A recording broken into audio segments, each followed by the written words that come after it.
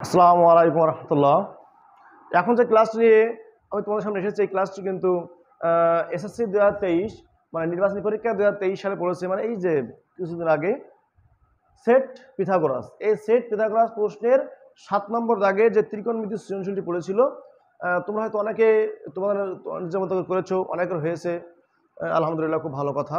আমি একটু এই প্রশ্নগুলো তোমাদেরকে সমাধান করে দেখাবো। অনেকের হয়তো হয়নি তারা ঠিক করে নিবা। বা যারা পরবর্তীতে দু হাজার চব্বিশ সালে টেস্ট পরীক্ষা দিবা বা পঁচিশ সালে পরীক্ষার্থী আছো, তাদের কিন্তু এই অঙ্কটি কাজে লাগবে, কাজে আসবে। দেখো উদ্যোগটা কিন্তু দেওয়া আছে এর একটা মান আছে বির একটা মান দেওয়া আছে। ক বলেছে এ ইকল পনেরো ডিগ্রি হলে দেখাবো যে এটা ইকল টু এটা। খ বলেছে A equal to one by three তখন এটা equal to one by three হলে এখান থেকে থিটার মান বের করতে হবে, যখন থিটা সূক্ষ্মকোণ। আর দেখাও যে A equal to B square আসলে খুবই সহজ অঙ্কগুলি। তোমরা দেখলে বুঝতে পারবে যে এত সহজ পড়েছিল পরীক্ষায় হ্যাঁ এত সহজ প্রশ্ন তোমাদের পরীক্ষায় এবার পড়েছিল। তো ক নম্বর দেখো এখানে দেওয়া আছে এর মান কত ডিগ্রি? পনেরো ডিগ্রি। তাহলে এখানে যে লেফট হ্যান্ড সাইড ধরে আমি লিখি যে sine two A sine two A এর মান পনেরো ডিগ্রি, তাহলে পনেরো দিনে কত হবে? তিরিশ। তো সাইন থ্রি ডিগ্রি মান কত? One by two right hand side cos four A এর মান কত? পনেরো ডিগ্রি।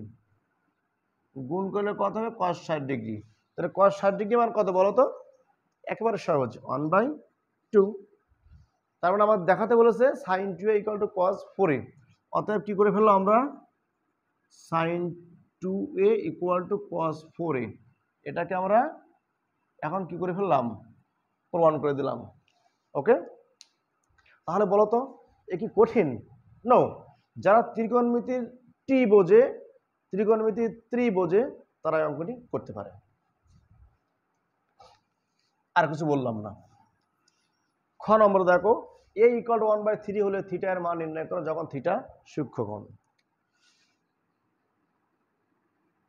দেওয়া আছে A equal to cosec theta minus cot theta by cosec theta plus cot theta আর এখানে এর মান বলেছে কি? ওয়ান বাই থ্রি অতএব এখান থেকে আমরা কি লিখতে পারি? Cosec theta minus cot theta by cosec theta plus cot theta equal to one by three লিখতে পারি। পারি না? এটাকে কিন্তু বিভিন্নভাবে সমাধান করা যায়। সাইন কাজ করে সমাধান করা যায়। আর গুণ করে সমাধান করা যায়। আবার আরও একটা দিক আছে, যোজন বিয়োজন, যেহেতু উপরেও যা, নিচেও তাই, শুধু চিহ্ন আলাদা, তাহলে এটাকে কিন্তু যোজন বিয়োজন করেও সমাধান করা যায়। তাহলে আমরা যদি যোজন বিয়োজনটা করি, সবচেয়ে সুবিধা হবে। যোজন বিয়োজনের নিয়ম কি? যোজন বিয়োজনের নিয়ম হচ্ছে ল প্লাস হর ভাগ লব মাইনাস হর। মাইনাস হর। ইকুয়াল টু ঠিক তাই হবে যে লব প্লাস হর ভাগ হচ্ছে লব মাইনাস হর কি করলাম? যোজন, বিয়োজন করি। এখানে দেখো কট থিরা কট থিরা কেটে যাচ্ছে, এখানে কিন্তু কোসেক থিরা কোসেক থিরা কেটে যাচ্ছে। তাহলে কোসেক থিটা কোসেক থিরা যোগ করলে হবে কি? টু কোসেক থিটা আর minus cot theta minus cot theta যোগ করলে হবে মাইনাস টু কট থিটা এটা কত হবে? ফোর বাই মাইনাস টু তাহলে টু টু কেটে গেল। থাকছে কোসেক থিটা বাই হচ্ছে মাইনাস কট থিটা এখানে কাটাটিগুলো থাকবে হচ্ছে কত? মাইনাস টু এখন কোসেক থিটা সমান কি বলতো? কোসেক থিটা আছে ওয়ান বাই সাইন থিটা আর কট থিটা হচ্ছে cos theta by sine theta equal to two তো মাইনাসটা কোথায় গেল? আমি কিন্তু উভয় পক্ষকে মাইনাস ওয়ান দিয়ে গুণ করলাম, এই জন্য মাইনাসটা নেই। দেখো, এখানে লব আছে ওয়ান বাই সাইন থিটা আর হর আছে হচ্ছে cos theta by sine theta তাহলে ভাগ থাকলে গুণ করে উল্টাই দিলাম, তাহলে কি হয়ে গেল? হর হয়ে গেল লব আর লব হয়ে গেল হর। সাইন সাইন কেটে গেল, থাকছে one by cos theta equal to two তাহলে sec theta equal to two তো সেক কত ডিগ্রি মান টু বলো তো সেক সমান কি? ওয়ান বাই কজ তাহলে কস কত ডিগ্রি মান? ওয়ান বাই টু কস ষাট ডিগ্রি মান হচ্ছে ওয়ান বাই টু তাহলে এখানে সেক ষাট ডিগ্রি মান হচ্ছে কত? টু দ্যাট মিন্স থিটার মান কত পেলাম আমরা? থিটার মান ষাট ডিগ্রি এবং বলতে থিটা সূক্ষ্মকোণ। তাহলে অবশ্যই এই মানটা কি? গ্রহণযোগ্য। সূক্ষ্মকোণ মানে কি? জিরো ডিগ্রি থেকে বড় আর নব্বই ডিগ্রি থেকে ছোট। এই যে এটা কিন্তু খ নম্বর প্রশ্নের সলিউশন তাই না? খুব সুন্দর করে তোমরা দেখে নাও।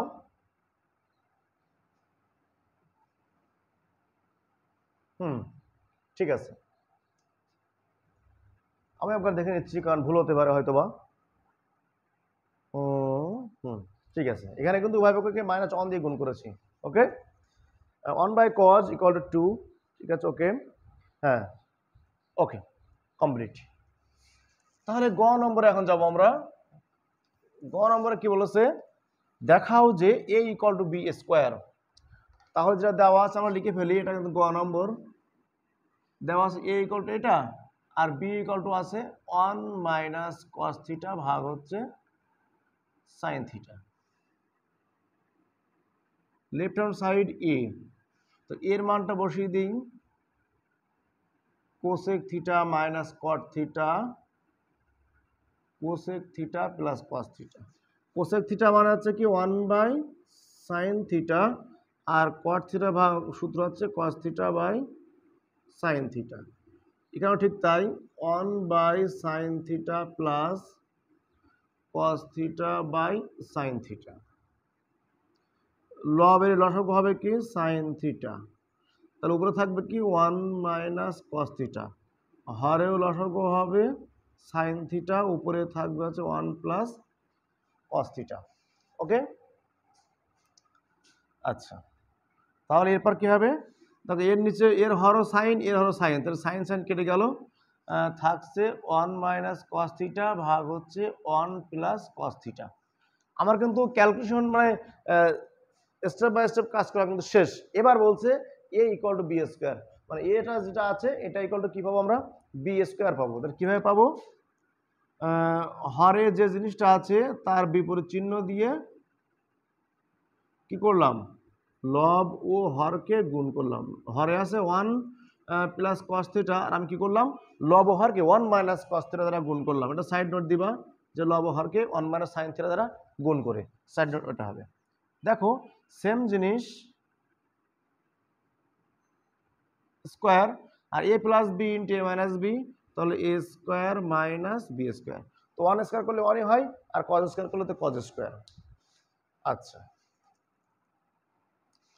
তাহলে এ পাশটা মুছে দিই।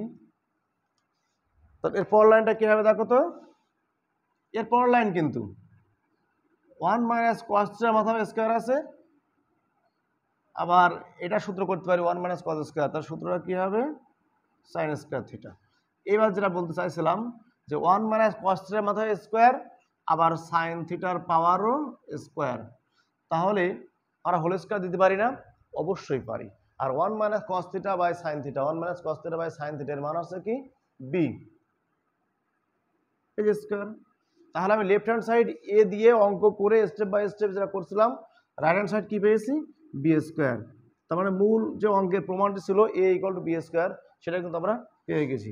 অতএব A equal to B square showed A equal to B square showed সহজ না? একেবারে কিন্তু সহজ। সো মাই স্টুডেন্টস আমি কিন্তু এই ক্লাসগুলো দিয়ে দিয়ে দিয়েছি। ধারাবাহিকভাবে তোমরা ক্লাসগুলো পেয়ে যাচ্ছ। এবং আমার মনে হয় যে তোমরা অনেক উপকৃত হচ্ছে এবং যারা উপকৃত হচ্ছ, তারা যদি ভাবো যে এটা শেয়ার করার প্রয়োজন আছে তুমি- তুমি তোমার বন্ধুদের মাঝে এটাকে শেয়ার করে দিবা, যেন তারাও এগুলি করতে পারে। ভালো থাকো, সুস্থ থাকো। আল্লাহ হাফেজ।